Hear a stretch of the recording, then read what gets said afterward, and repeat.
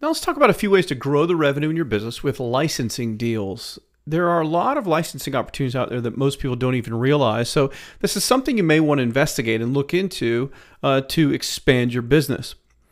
So the first opportunity is to essentially license your products to sellers in other countries. And this is great for info products or online courses like I already mentioned in the overview lesson you know it's if you have an info product that sells and it could be to any market whether it's dating health and fitness as long as it's not some kind of a cultural mismatch there where it you know deals with some topic that doesn't relate to another market or another country I should say and their culture. But in you know for weight loss fitness you know making money marketing you know real estate things like that. Although there are some differences in those markets especially like real estate there could be some procedural differences or legal differences. But overall there are many different types of products for information um, that translate over again no pun intended there to a different market because they have the same problems and they need solutions uh, for those things, you know, within their country. And so there are some licensing opportunities for you if you have successful info products that you sell to try to find someone in different countries where you can give them a licensing deal and the right to sell your products, uh, you know, in that country that they're from. So there's a number of ways that you can do this, and you can Google licensing agreements or licensing options, things like that, and get some different ideas. You can do it on an exclusive basis. So you give them like the territory. I mentioned I know a marketer that has licensed their products to somebody in Japan. Um, I know someone else doing stuff with Singapore, which is another big market. And uh, Singapore, I think most people there speak English. So the products don't even really need to be translated. They're just marketed there by someone that, you know, that's really their market in Singapore. But um, so you can, again, you can do exclusive where they have the territory, let's say, to sell your info products in Japan and no one else can. You can do it for you know a limited time where it's a one year deal and then it will renew per year at your option. You can do non exclusive. Uh, you can do contingency based upon, you know, it needs to be, you know, reach certain revenue uh, amounts. Otherwise, the deal is off, you know, after 12 months. Because certainly if you do an exclusive, let's say to someone in Japan, and they sell $2,000 worth, it's not even worth it, you know, when you take your percentage of whatever that is. So you may want to have some things into a contract that gives you an out where you could still license it to someone else in Japan uh, if the person you license with isn't able to produce many sales.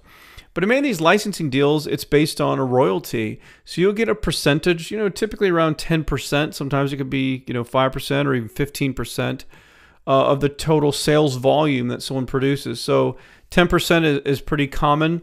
So let's say you have a, a weight loss product, which is like, you know, a fitness program for lifting weights and recipes for eating right, so on and so forth, and you want to license that to different countries and different markets, and someone else is going to go through the trouble to translate it and to do everything else, and you just you do a licensing deal where give them the rights to sell your products and use your marketing in their country, you know, in their language market.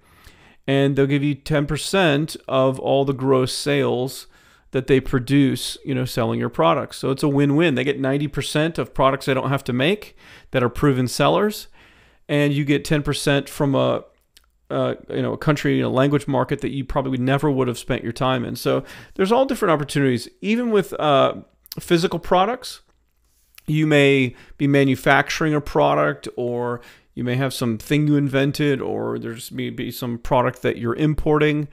And you know if you're doing some unique things with it how you labeled it or, or how you're positioning it you could also do a licensing deal with that physical product where you could allow someone in another country to uh, to sell that product. So again it's not only info products and information it can also be you know physical products uh, and different types of products that you can do these licensing deals with.